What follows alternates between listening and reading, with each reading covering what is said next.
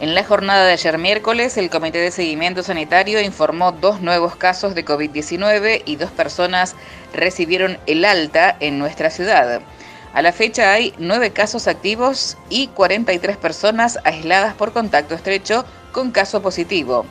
Hay 21 hisopados pendientes de resultado.